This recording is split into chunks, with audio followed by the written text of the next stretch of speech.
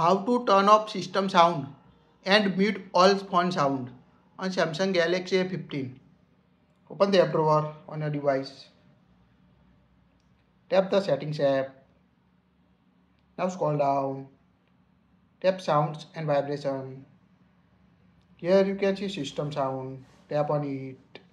Now you can see the five different options. Touch interaction, dialing keypad, Samsung keyboard, charging, screen lock or unlock. Just toggle on or toggle off the option you want to so sound on your device. If you want to mute all phone sounds go to settings scroll down up to accessibility tap on it tap on a hearing enhancements. Now here you can see mute all sound option tap on it now toggle on it to mute all sounds on your phone including phone calls, alerts and media sound on your device. You can also create a shortcut for this using accessibility button. Press the side and volume up button.